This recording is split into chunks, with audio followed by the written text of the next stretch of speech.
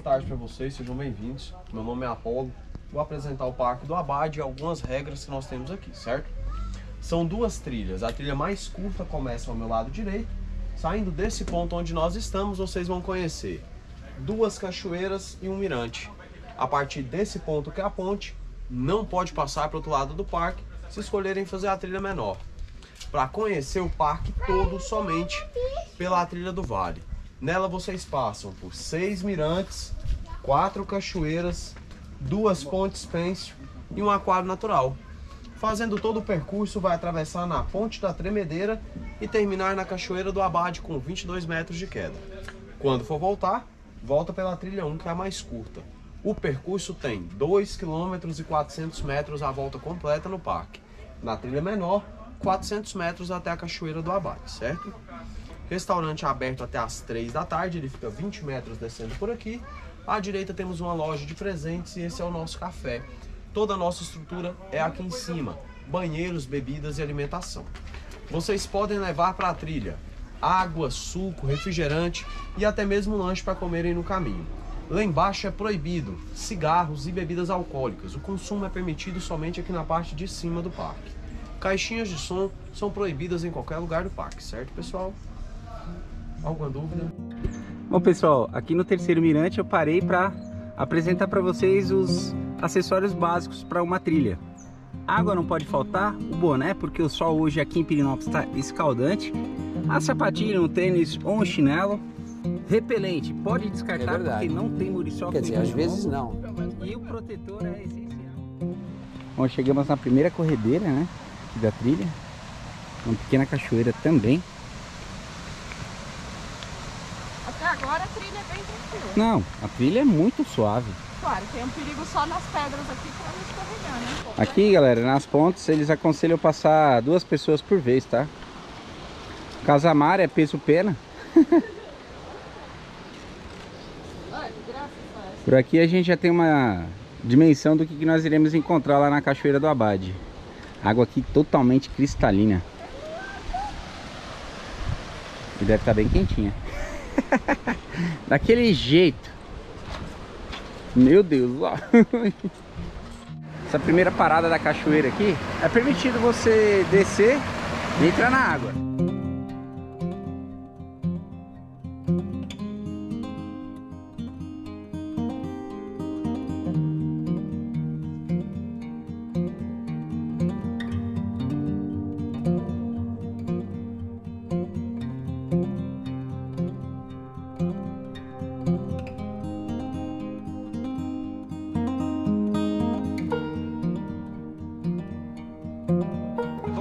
Refrescada, galera, porque a trilha aqui está muito quente. Tá show de bola demais.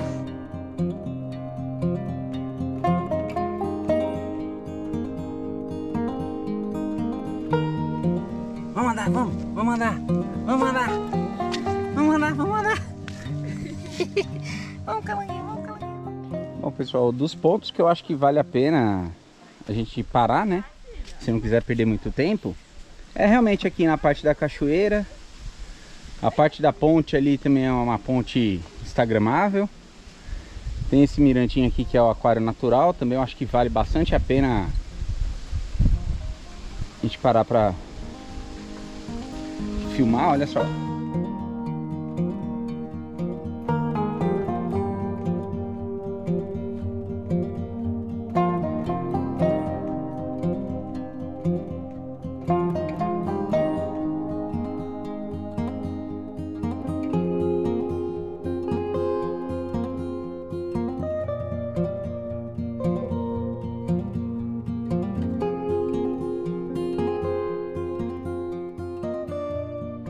Câmera bem devagarinho aqui, pessoal, para não movimentar muita água, né?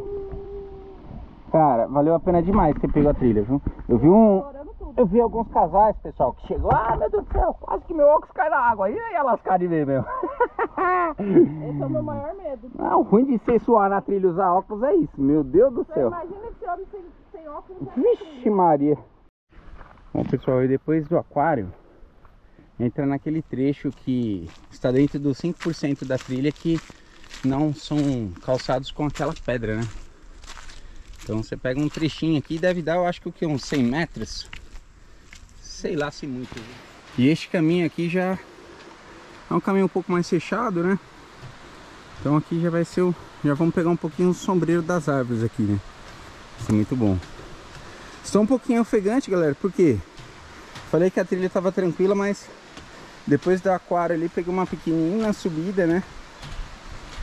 E olha só este caminho aqui, coisa linda. Realmente vale a pena demais, demais, demais fazer. Bom pessoal, como que essa trilha aqui, ela tem 2 km e 400 metros, eles acabam não dando um tempo estimado, por quê? Porque vai variar do seu tempo de parada, né? Então se você fizer um caminho mais rápido, sem fazer muita parada, etc, você consegue fazer num tempo reduzido, né? Mas se vocês quiserem realmente aproveitar cada, cada momentinho aqui das paradas, vai levar mais tempo. Aqui, evidentemente, a água está um pouquinho mais fria. Uh, tá bem mais fria. Mas, vamos entrar aqui porque não vai estar muito diferente da cachoeira, né, galera? Então, como eu vou entrar na cachoeira, é bom que eu já vou me preparando até lá. Vamos ver aqui agora. Essa água quentinha, quentinha de Cardas Novas. Tem que entrar de uma vez, velho. O negócio é isso aí, ó. Ser corajoso entrar de uma vez. Senão, filho, você não entra não. E que vamos.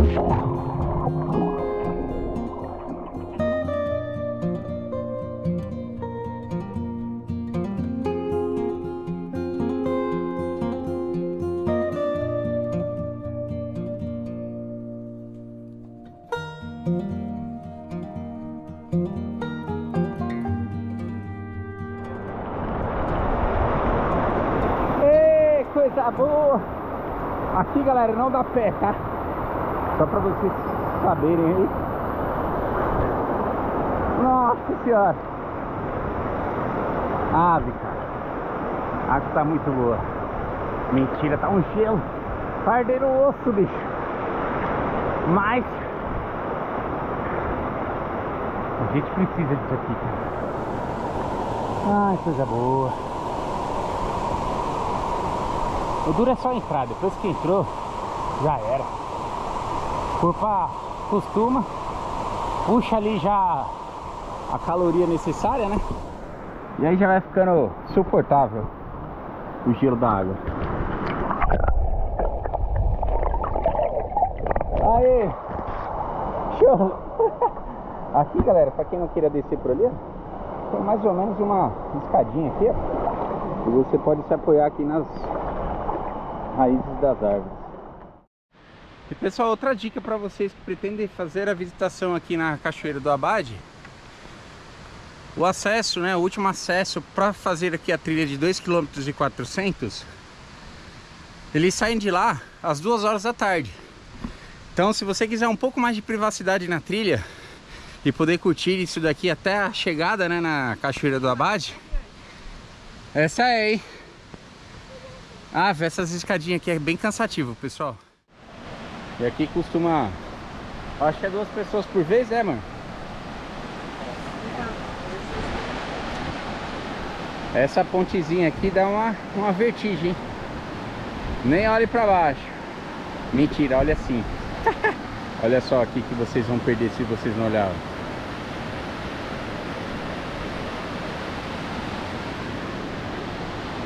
Que show. Que é bem altinho. Vou informar pra vocês a, a altura. Caramba, que negócio mole, meu.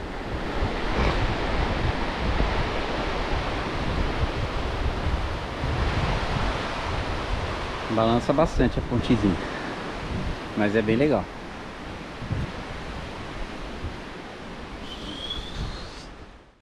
Isso aí, galera. Aqui à esquerda então vai para a Cachoeira da Abade e aqui à direita vai para a Cachoeira do Canyon, que é essa que nós avistamos aqui de cima da ponte, não é isso, parceiro? Vamos descer lá e vamos apresentar para vocês, né? Se você pensar assim, ai, tô cansada, não vou não, talvez seja uma oportunidade que vocês percam aí de ver, hein? Uma bela vista. Eu vou descer lá mesmo, porque já estamos na chuva, vamos se molhar então o trem. Coisa boa. E sem contar, galera, o contato que você tem diretamente com a natureza, né? barulhos de pássaros. Aqui tem algumas, algumas espécies, né? Que para quem que é fotógrafo e gosta, né? E curta bastante este hobby, é possível vir e ficar aqui o dia inteiro, pessoal, fotografando. Tem tucano, arara, é, papagaio, periquito, enfim. Borboleta, né, amor? Vi várias, de várias cores diferentes. Pois é. E os lagartinhos, né? Que Ah, lagarto já é, é igual barata de casa. é a barata do cerrado. Isso aí. Nossa, cara, olha só a transparência dessa água.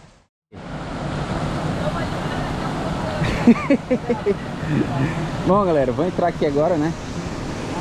Não é à toa o porquê do nome, né? Cachoeira dos Canyons. Olha a paisagem disso aqui, meu amigo. Pessoal, é o seguinte, se você não sabe nadar, essa cachoeira aqui não é aconselhável para você, a menos que você venha ou com macarrão ou uma boia, principalmente para os seus filhos também, né? Esse poço aqui ele tem 10 metros de profundidade e o único acesso com o pé é aqui, galera. Na hora que vocês saírem aqui dessa beirada, né? É 10 metros de profundidade e não tem o que fazer, meu amigo. É possível chegar bem lá perto também, mas não vai dar pé. Então, se você tiver uma resistência um pouco baixa aí, né? Que é no meu caso, por exemplo. Tô meio gordinho, né, galera? Então, vamos tentar apresentar pra vocês. Como que eu já entrei em outras três águas, né? Antes de chegar até esse acesso aqui. Então, meu corpo já acostumou, galera. Então, vamos que vamos. Vou deixar meu boné aqui. Valeu.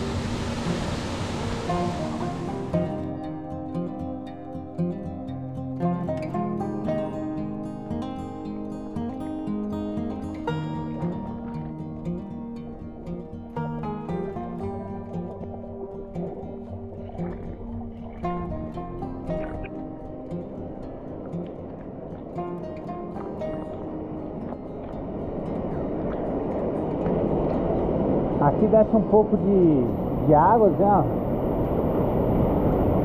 O Gruta que chora, galera. Lá de Ubatuba.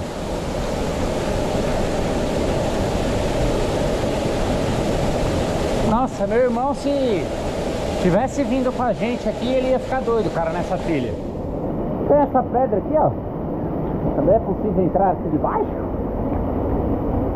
Mas quem tem um pouquinho de claustrofobia, vaza dela, galera. Chegar mais perto ali da cachoeira. Lembrando que aqui já precisa fazer um pouco mais de esforço, porque a corredeira te joga pra trás, né?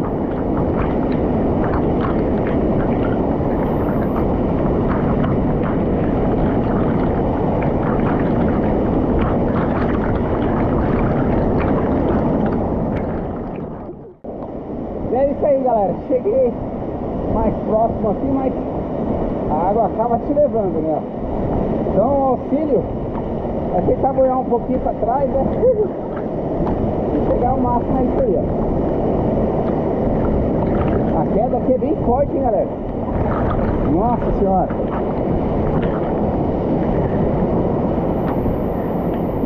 Não, amigo.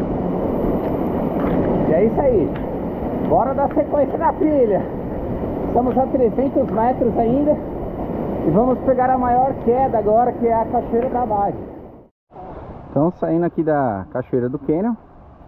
Já vai te dar o acesso aqui, vai aqui uns 200, 300 metros e vocês vão ter acesso aqui à Cachoeira do Abade. Eu duvido muito, meu irmão que indicou essa cachoeira, né, pra gente fazer essa visita junto com a minha cunhada. Mas eu duvido que ele tenha feito esse caminho de 2,4 km. Deva ter pensado assim: tá doido? Vou gastar 3 horas na trilha quase. 3 horas eu fico bebendo e comendo carne. o bicho gosta de um mé danado. Eles têm esses pontos de descanso. Para quem que esteja com a resistência um pouco mais puxado aí, né? Profundidade de 5 a 6 metros. A cachoeira dos Canyon ali é bem maior, né? E a queda dessa cachoeira aqui, galera, são 22 metros de altura. Chegamos aqui na principal cachoeira aqui de Pirinópolis, uma das mais visitadas pelos turistas, né? Cachoeira do Abade. Fizemos a trilha de 2 km e 400 metros de distância e realmente valeu a pena demais, galera.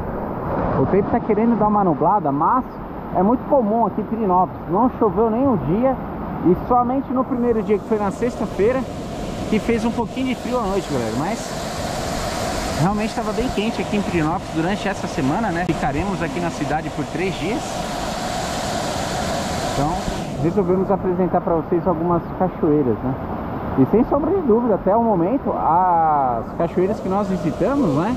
Essa daqui foi que realmente valeu a pena, galera. Onde que tem a parte mais clara, dá pé.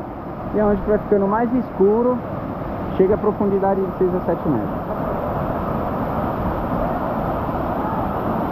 Cara, a vista disso daqui é sensacional.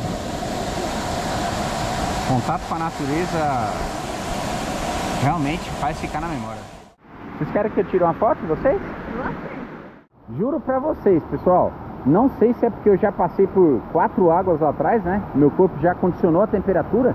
Mas essa daqui me parece estar tá um pouquinho menos gelada, viu? Tá bem legal aqui. Bom, pessoal, agora sim. Minha vez de entrar aqui na cachoeira.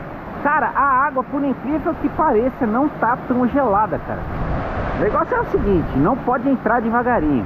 Nem cachoeira, rio, a dica é entra com tudo, velho!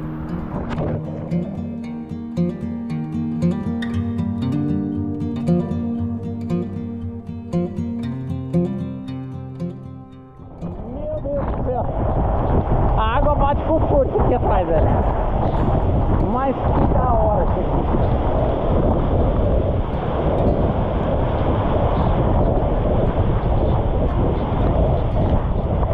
Muito bom, viu? Puxa. Cara, que experiência sensacional, pessoal. Meu, que experiência sensacional. A gente vai embora agora, são três e pouquinho. Porque o restaurante deles aqui, galera, fecha cedo, né? Não sei nem se vai dar tempo. Queria apresentar para vocês o restaurante. Então nós vamos correr, né? Pra ver se dá tempo de apresentar pelo menos o restaurante lá pra vocês. Com valores, né? Dos cardápios. E a qualidade da refeição aí.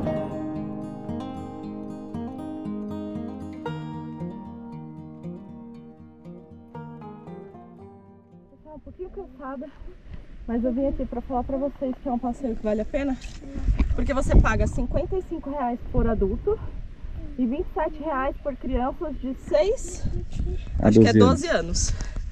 Então assim, você faz um percurso de 2 km e 400 Não é tão cansativo, é só alguns pedacinhos aqui, que nem aqui essa subidinha agora. Dá pra fazer com criança, é bem de boa. E eu acho que é um passeio que você curte praticamente o dia todo por um valor bem acessível.